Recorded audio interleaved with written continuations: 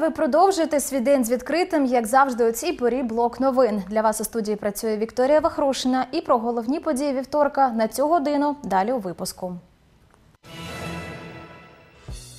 Били чи не били у Дніпрі? Поліція розслідує конфлікт між вчителькою математики та матір'ю учня у 120-й школі. Я б у водії пішов. У Дніпрі набрали нову групу кермувальників тролейбусів.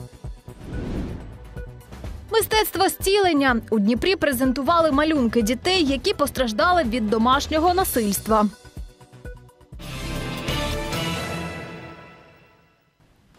І про це та інше більш детально. Я тебе вб'ю, зламаю руки і ноги. Таке почула вчителька математики 120-ї школи від матері шестикласника, яка прийшла до педагогині з'ясовувати стосунки. Начебто вчителька принижувала її молодшого сина. Крім погроз, викладачка отримала і копняка. Все це відбувалося на очах учнів. Така версія адміністрації закладу. Сама ж мати школяря божиться. Це наклеп. Вчительки не торкалася. Тож, що було насправді, дізнавалася наша Анастасія Вільхова. Звичайний урок математики для 56-річної вчительки завершився гучним скандалом та синцями. Мати одного із учнів завітала до школи. Незважаючи на зауваження охорони, рушила на розбірки до педагогині. Я сделала ей замечание по поводу масочного режима, администрации школьного режима. Она сказала неадекватно, ответила мне, «Э, сейчас это не по закону, читайте законы. Развернулась и пошла. Проигнорировала охранника, проигнорировала, проигнорировала мое замечание. Розлючена жінка прийшла до школи не сама, а разом із старшим 18-річним сином. Піднялись на третій поверх, знайшли вчительку та почали її лаяти. Слів не підбирали, а потім кинулися в бійку. Все це на очах одинадцятикласників. Почала погрожувати її, обзивати нецензурними словами. Погрожувала, кричала, що я її я, я тебе вб'ю, поламаю тобі руки і ноги. А коли її вчителька відповіла, що вона буде розмовляти тільки в присутності директора школи з нею, повернулася, щоб зайти до класу, проводити далі урок. е, Підскочила ця жінка, почала бити її ногами, і її повнолітній син продовжували це побиття. Після інциденту вчителька потребувала допомоги медиків. Шкільна медсестра зауважила, стан у викладачки був такий, що вона могла легко отримати інсульт. Я ей померила давление. У нее давление 180 на 100. У нее криз гипертонический был, ее все телепало. Я ее положила, дала таблеточку, снизила чуть-чуть давление, но она потом опять подпрыгнула. Сьогодні ж математичка на роботі, але коментувати інцидент відмовляється.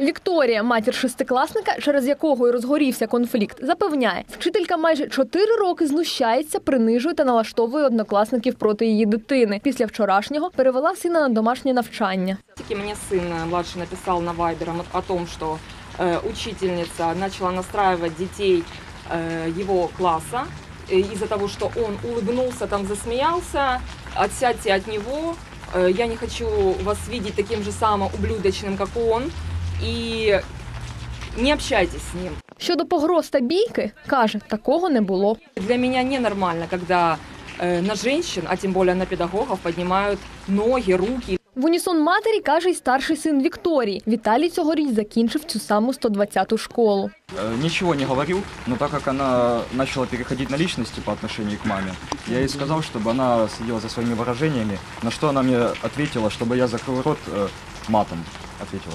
Постраждала вчителька, написала заяву до поліції. Те ж саме зробить і матір учня. Та на неї та старшого сина вже відкрили провадження. Зараз вже складено два адміністративні протоколи за статтею 173.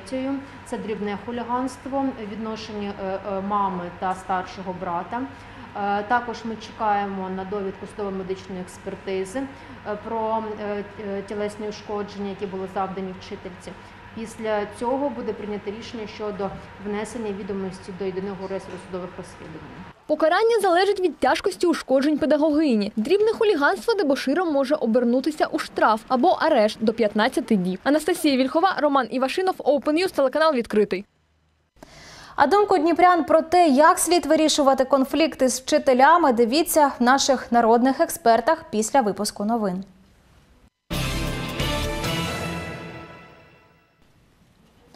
Понад 19 тисяч нових ковід-хворих за минулу добу в Україні. Найбільше інфікованих в Одеській, Харківській, Запорізькій областях та столиці. 32 тисячі з 35 госпіталізованих з коронавірусом не вакциновані. Таку статистику за минулий тиждень наводять у МОЗ. І додають, щодня один хворий на ковід-19 споживає у 6 разів більше кисню, ніж це було в попередній хвилі недуги. У Міністерстві охорони здоров'я запевняють, наразі Україна медичним киснем забезпечена. Проте, якщо захворюваність ростиме, будуть змушені шукати додаткові можливості для його постачання. Якщо на початку жовтня в Україні споживали 280 тонн на добу, на середину 330 тонн рідкого кисню, то зараз вже 367 тонн. Наразі 35 підприємств виробляють понад 400 тонн кисню на добу. Абсолютна більшість з них працює на максимальну потужність.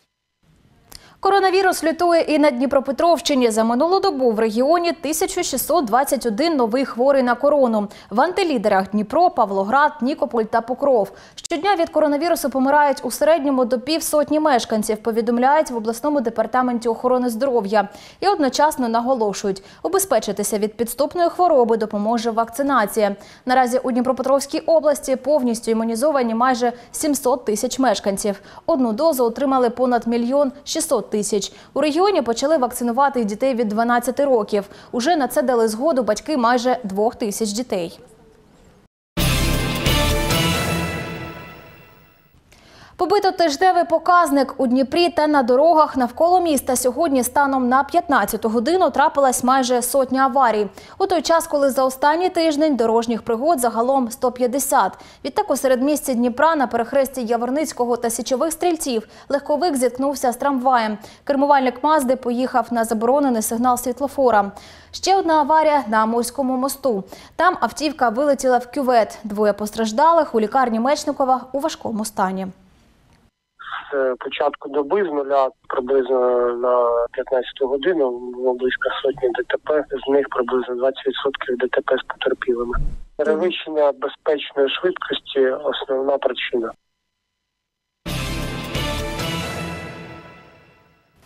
Трамваї їздитимуть тихіше та не сходитимуть з рейок. У Дніпрі на вулиці Роденка почали міняти трамвайне полотно. Саме тут розташоване депо, з якого вранці роз'їжджаються майже 96% трамваїв міста. Востаннє капремонт тут проводився 37 років тому. Через це нерідко трамваї сходили з рейок. Якщо це траплялося вранці, для міста це значив транспортний колапс. Комунальники мають замінити майже 2 кілометри колії, контактну мережу, 38 опор та відремонтувати 13 переїздів через трамвайні шляхи.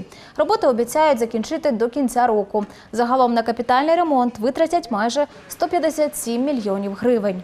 Работы производятся только в дневное время, после выпуска э, подвижного состава на линию и перед э, возвратом транспортных средств обратно в депо. То есть мы проводим работу с 9 до 17 часов.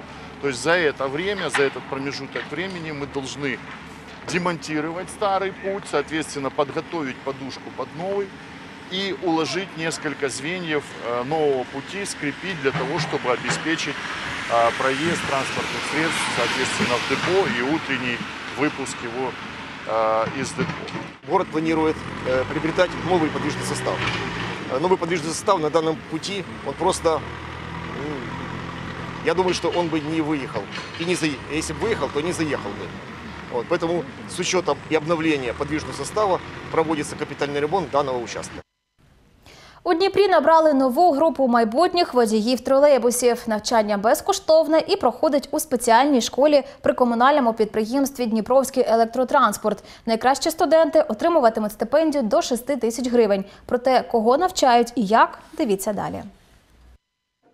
Відмовився від кар'єри інженера, аби керувати тролейбусом. Сергій Іванов вже більш ніж рік курсує п'ятим маршрутом у Дніпрі. Після закінчення вишу чоловік вирішив опанувати нову професію та прийшов на навчання до школи водіїв при Дніпровському електротранспорті. Огромная ответственность, потому что требует очень большого внимания эта профессия по сравнению с тем же водителем автобуса, где ты следишь только за дорогой и за пассажирами.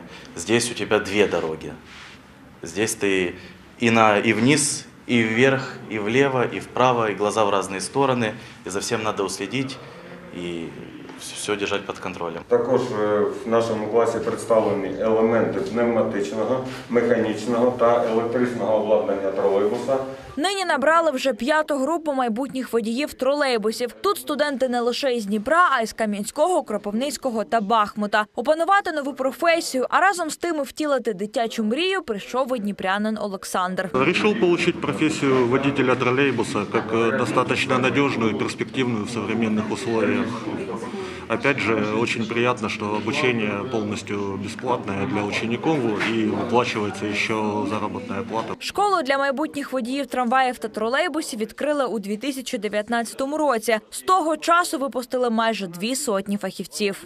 Особливою відмінністю цієї машини є те, що вона спочатку з заводу обладнана місцем під е, інструктора. Тобто це зареєстрований е, учбовий тролейбус. У навчальній програмі теоретичні заняття, вивчення правил дорожнього руху та практика на спеціально обладнаних тролейбусах. Тривалість курсу 5,5 місяців. Від початку навчання зі студентами укладають трудові договори, а найкращі учні отримують стипендію до 6 тисяч гривень. Водители уходят на им- уходят э, по состоянию здоровья, уходят в связи с переменой места жительства. Поэтому постоянно необходимо пополнять э, штат водителей трамваев и троллейбусов. В течение этого 2021 года мы уже подготовили 56 водителей трамвая и троллейбусов. За это время уволилось, как я сказал, по состоянию здоровья на пенсию 30. То есть у нас э, положительная динамика Прийти на навчання може кожен, кому від 21 року. Гендерних обмежень жодних. Зареєструватися на курси можна за телефонами комунального підприємства Дніпровський електротранспорт 373 92 13 093 459 54 83. Марія Требушенко, Володимир Турколець, Open News, телеканал відкритий. У Дніпрі оновлюють мережу зливової каналізації, щоб після рясних дощів місто щоразу не перетворювалось на Венецію. До кінця 2021 року комунальники завершать модернізацію ливнівок на вулицях, які найчастіше страждають від підтоплень: Любарського, Коцюбинського, Нірінберга, Старокозацька, Короленка, Воскресенська. На всіх точках вузькі стічні труби замінять на європейські більшого діаметру. Цьогоріч з міського бюджету на реконструкцію дощоприймачів виділили 200 мільйонів. Наступного року оновлення продовжать. Зокрема, вже запланований масштабний проєкт на Володимира Великого. Туди інвестують більш ніж 300 мільйонів гривень. Однак зношена мережа зливової каналізації не єдина проблема. Колектори засмічують і самі люди. від покришок, е, пляшок е, до е, старих якихось телевізорів, холодильників, навіть крісло там чи стілець, е, матраси. Це все викидається і це все потім потрапляє до колекторів, доходить, доводиться це діставати звідти. І воно спричиняє більші проблеми і більше підтоплення, перебуваючи в колекторах. Тому не викидайте, щоб е, не погіршувати ситуацію. В дальнейшем представители нашего города и не будут сталкиваться с такими подтоплениями, как сталкивались там, в прошлом году. То есть все центральные улицы будут восстановлены, будет заменена полностью вся коммуникация, будет замена э, всей ливневой системы. Збирають гроші на видавництво книги. У Дніпрі представники меморіального будинку музею академіка Яворницького проводили конкурс до ювілею від дня народження цього видатного вченого. Діти з усієї України надсилали свої есе, роздуми, фентезі, казки, відеороботи та малюнки на тему Хто він Дмитро Яворницький. Музейники зібрали понад пів тисячі робіт. З них відібрали 25 найкращих літературних та приблизно 60 художніх творів. Їх хочуть об'єднати у збірку. Адже жодної дитячої книги про нашого земляка, історика, українознавця немає. На думку авторів проєкту, ця збірка важлива не лише для Дніпра, а й для усієї України. Адже понад 50 топонімів нашої країни названі на честь Яворницького. Тож допомогти видати книгу просять усіх небайдужих. Дніпрянин Даніїл Лісогор брав участь у конкурсі Хто він? Дмитро Яворницький. Мені випала дуже каверзна така тема. Якби Дмитра Івановича Яворницького і зовсім не було. Він вклав таку велику частку просвітництво української історії та козацтва. Мені здається, то Україна здобула б незалежність значно пізніше, або навіть не здобула б, якби не цей, цей земляк наш. Ліза цікавиться історією. Говорить, з тиждень працювала, аби написати твір на конкурс, який проводив меморіальний будинок музей академіка Яворницького. Мені стало цікаво, а якщо б е, Яворницький і Підмогильний зустрілися. Але я пошукала і з'ясувалося, що Підмогильний на той час, коли Яворницький видавав в інституті, теж навчався в тому, тому ж році. І мене це зацікавило. Я вирішила уявити, якщо б вони зустрілись би. Твори і Даніїла, і Лізи виявилися одними з найкращих. Їх іще приблизно сотню дитячих відеоробіт, літературних творів, малюнків, презентацій, колажів, коміксів, ребусів, загадок про нашого земляка, легендарного історика козацтва, культурного та громадського діяча хочуть об'єднати у збірку про Яворницького очима дітей на 150 сторінок. А ще аудіокнигу, де б автори озвучили свої вірші, фентезі та роздуми. Це буде інтерактивна книга, сучасна книга, в якій буде і частина діджиталізованої інформації, оскільки великий ще пласт робіт залишається, які не увійде цю книгу. Їх можна було побачити через сканування QR-кодів, подивитися цікаві відеороботи. Крім того, діти надсилали е, навчальні презентації, розраховані на різний вік, які могли послугувати для е, вивчення е, спадщини Яворницького. Десятеро учнів керівника краєзнавчого гуртка Павла Дінця брали участь у конкурсі. Чоловік каже, усі роботи надзвичайно креативні, унікальні та можуть зацікавити підлітків до вивчення та дослідження історії, краєзнавства. Завдяки їм можна відчути, яким був Дмитро Яворницький. Ми розбирали графологічно почерк Дмитра Івановича. Ми проводили соціальне опитання, опитування невеличке серед школярів. Ми хотіли, щоб він, як і Шевченко, не бронзовел, а щоб показати його простою людиною. Наприклад, наша Ілона взялася за таку тему: а що було б, якби Дмитро Іванович був моїм дідусем рідним? І там теж так, такий фентезі був. Щоб видати книгу з дитячими роботами про Дмитра Яворницького, потрібно 150 тисяч гривень. Допомогти втілити проєкт у життя, який допоможе багатьом дітям дізнатися про культурну спадщину та постать Дмитра Яворницького, популяризуватиме дитячу творчість, може кожен. Це буде книга-гра, яку планують передати в українські навчальні заклади та нагородити ними учасників конкурсу. Реквізити на ваших екранах. Галина Ізмайлова, Олександр Вернегоров, Open телеканал відкритий. Із чорного у кольорове у Дніпрі презентували малюнки дітей, які постраждали від домашнього насильства. Арт-терапія, мистецтво зцілення, проєкт громадської ініціативи Пані Патронеса. Його покликання допомогти пережити родинам скрутні часи. На заняття діти ходили протягом двох місяців. За цей час малеча спілкувалася із психологами та позбавлялася страхів через мистецтво. Життя очима дітей бачила і знімальна група відкритого. На цьому малюнку це хлопчик він намалював свою маму, е, яка така от на темному фоні, і тут видно тільки її очі, губи, те, що він пам'ятає, а все таке от темне притемне. І таких малюнків, як у цього семирічного автора, десятки. Спершу на заняттях із психологом діти виражали свої емоції, які провокували домашнє насильство. Здебільшого привалювали темні кольори, каже психологиня Наталя Валовська. Та вже за два місяці копіткої праці та творчості спеціалісти допомогли дітям трансформувати пережитий біль. Тим самим з'явилася надія на те, що вони зможуть будувати здорові стосунки у майбутньому, і темні фарби на папері перетворилися на яскраві. Коли ми е, збиралися, ми також ще проговорювали правила, як е, діти себе повинні е, ну, поводити на цих мастер-класах. І мені запам'яталось те, що він вже наприкінці, коли ми малювали Петриківку, він перший раз за все, за все це время він підняв руку і сказав, що хоче таке правило, щоб ми поважали один одного.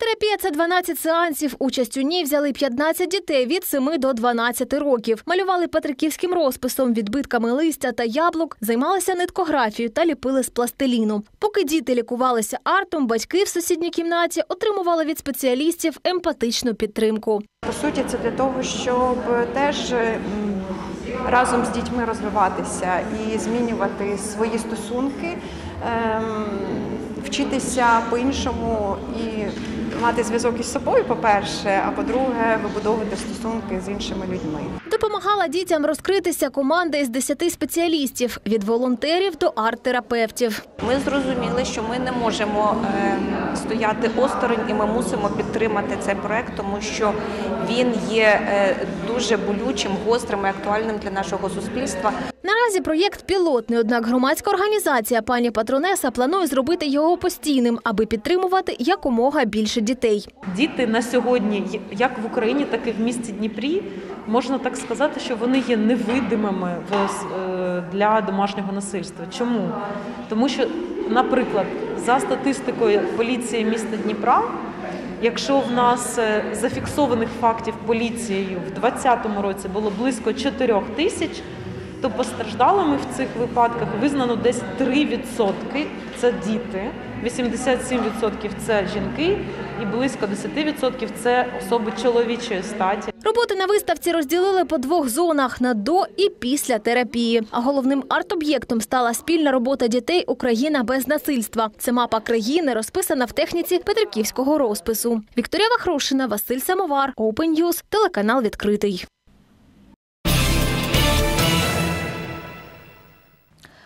На хвилі успіху 23-річний дніпрянин Данило Фільченко вперше в історії України завоював медаль дорослого чемпіонату світу з воднолижного спорту. На змаганнях у Сполучених Штатах Америки наш спортсмен піднявся на бронзову сходинку п'єдесталу в багатоборстві. Про спортивний шлях Данили до світової медалі далі в сюжеті.